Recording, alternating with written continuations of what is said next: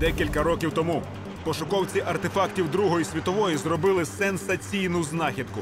На Черкащині з дна річки Гнилий Тікич вони підняли кращий американський танк часів Другої світової М4 Шерман. Військова техніка зі Сполучених Штатів потрапила до України за програмою ленд-лізу. Але хто були ті бійці, які керували танком?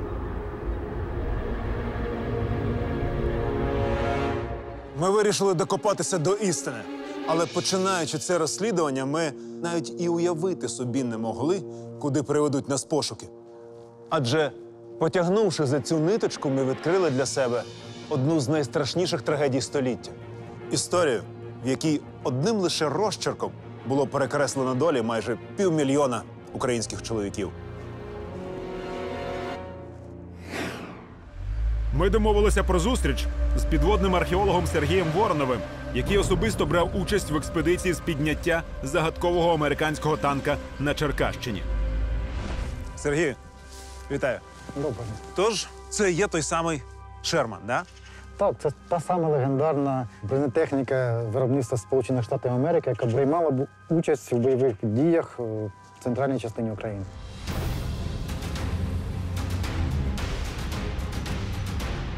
Унікальну знахідку було відремонтовано та передано до музею Академії збройних сил. Щоб дізнатися, хто керував цим танком, пошуковці зробили запит до московських архівів. У відповідь центральні архіви колишнього СРСР надали вичерпну інформацію про знайдений танк. Але доля танкістів залишилася таємницею. То хто ж такі ці бійці, імена і долі яких і досі тримають під грифом секретно? Нам е, вдалося знайти інформацію лише про командира танка, 19-річного Морозова Олексія Івановича. 19 років, а він вже Так, командир танку.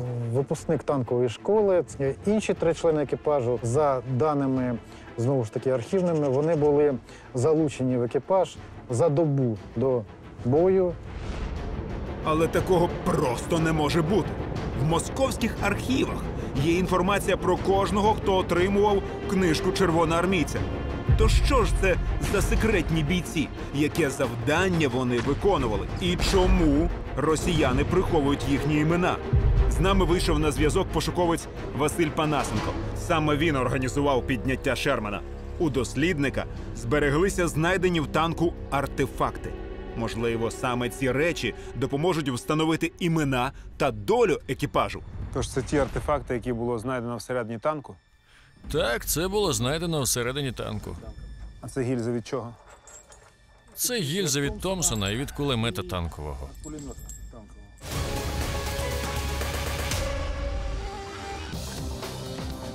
Пістолет-кулемет системи Томпсона. Улюблена зброя американських гангстерів 30-х 40-х років.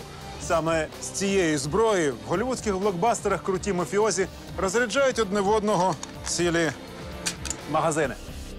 Томпсони входили до комплектації усіх танків та літаків, які постачалися Сполученими Штатами до армії Радянського Союзу. Шермані були гільзи саме від цієї зброї.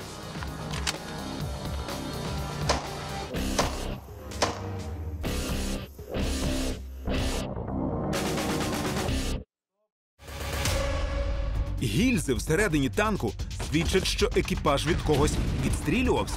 Аби з'ясувати подробиці бою, пошуковці провели власне розслідування. Але знайдена інформація відверто шокувала. У лютому 44-го радянським військам вдалося оточити у районі міста Корсунь-Шевченківський понад 50 тисяч німецьких солдатів.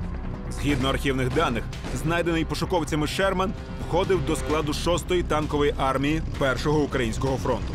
Вона отримала наказ зупинити прорив із котла однієї з елітних танкових частин Вермахту легендарної дивізії СС Вікінг. Саме ця машина потрапила до підрозділу, яка блокувала німецькі танки між містечком Жашків і село Нагірне.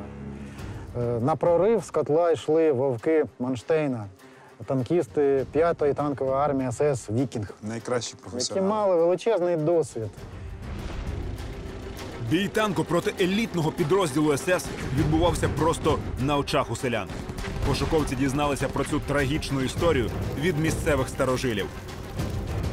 В хаті сільській була замаскована німецька штурмова самохідка. Через вікно просунули стволи. Першим же пострілом Шерману перебило гусеницю. Його вже зробили нерухомим. Він більше не зміг їхати.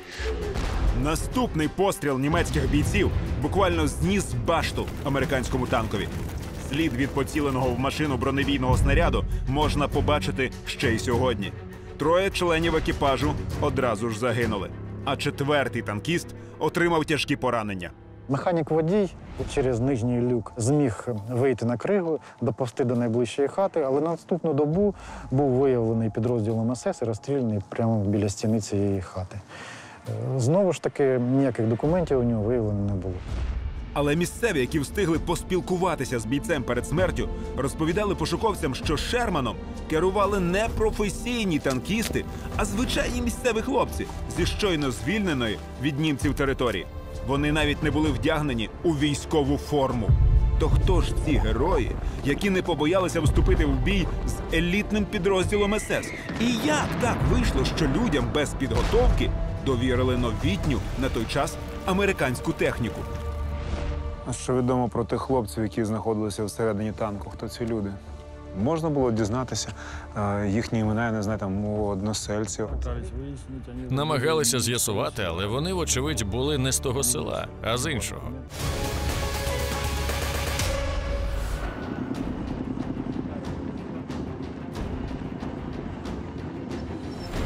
Ми вирушаємо до міста Корсунь-Шевченківський на Черкащині, аби на місці страшних подій самотужки розшукати відомості про цих загадкових танкістів. У лютому 1944-го місцевість, куди ми направляємось, була найгарячішою точкою планети. Гітлер наказав своїм генералам не відступати за жодних обставин. Проти радянських військ було кинуто майже половину танків та дві третини авіації Вермахту, що було зосереджено в Україні. Це елітні частини, які брали участь у розгромі в Польщі, Франції, Греції, Югославії та інших європейських держав. Страшні бої тривали тут понад місяць. Населені пункти переходили з рук у руки по декілька разів на день. Ця пекельна м'ясорубка увійшла в історію як Корсунь-Шевченківська битва.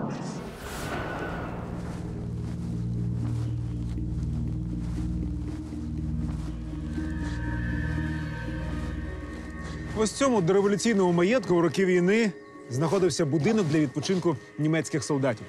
Але коли гітлерівці потрапили в оточення, маєток перетворили на госпіталь.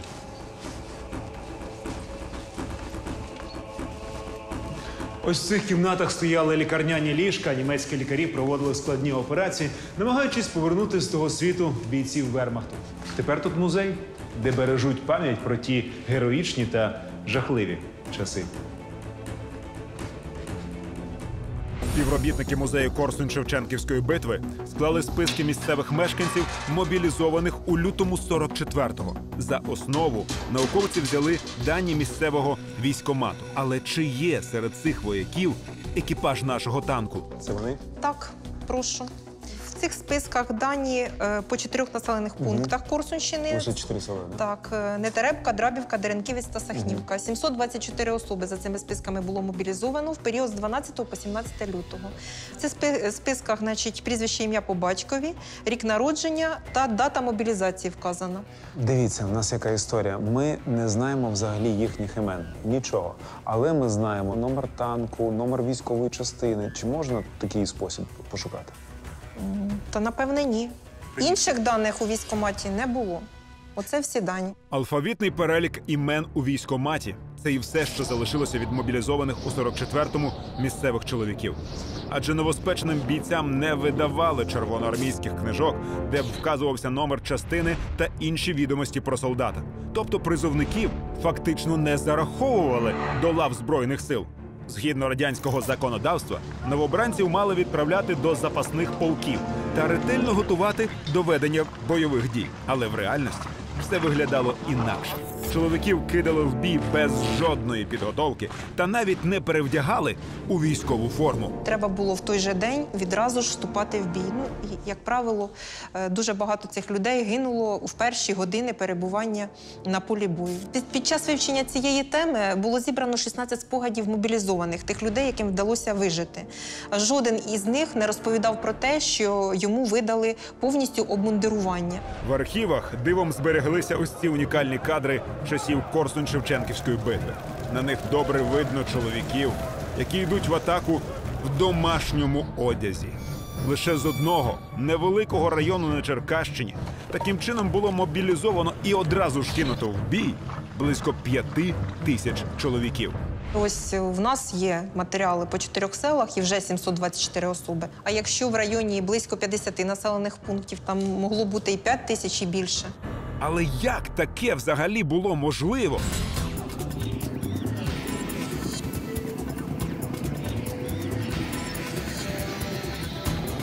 Ми домовилися про зустріч із істориком Феліксом Левітасом. Він один з найвідоміших фахівців Другої світової. Ніхто краще за нього не допоможе нам розібратися в цій божевільній історії. Та науковець приголомшив нас іще більше. Подібне жахіття у 43-44 роках відбувалося не лише на Черкащині, а практично по всій території України. І це, на жаль, не поодинокі випадки. За наказом ставки на визволених від нацистів територіях України активно діяли військово-польові військомати. Необстріляних людей часто в домашньому одязі, при відсутності зброї, е, кинули в бій. Так звані польові військомати були тимчасовими радянськими адміністраціями. Очолювали їх командири військових частин, які звільнили населений пункт від німців. Аби військо регулярно отримувало поповнення живої сили, Сталін дозволив командирам самостійно здійснювати призив та на власний розсуд розпоряджатися долями тисяч людей. Приїхали, зігнали, завантажили під охороною. Все одразу військову частину і. У багатьох населених пунктах польові військомати мобілізували таким чином все чоловіче населення, включаючи підлітків і осіб похилого віку. Військово-польові військомати повинні були діяти в межах радянського законодавства, але однозначно вони його порушили, тому що під цей так званий призив попадали юнь від 16 і, і чоловіки 60 плюс за віком. Ось так виглядали новобранці в офіційній радянській пропаганді. А тепер порівняйте це з кадрами хроніки та з цим унікальним фото, де зафіксовано справжніх мобілізованих. Цих чоловіків називали чорнопіджачниками, чорносорочниками або чорною піхотою. Чому чорнопіджачники? Типовий колір цивільного населення. Чоловіки вдягали чорні піджаки.